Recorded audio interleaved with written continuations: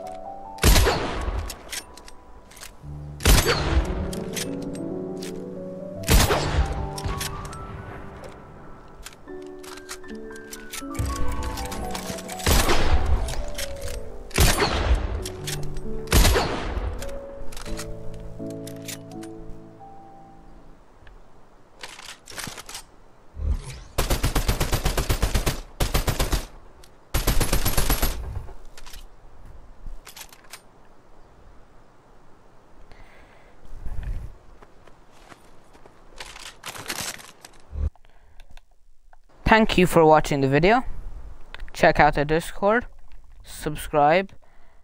Also, sorry for messing out up some of those reloads and the abrupt cut in the middle of the video.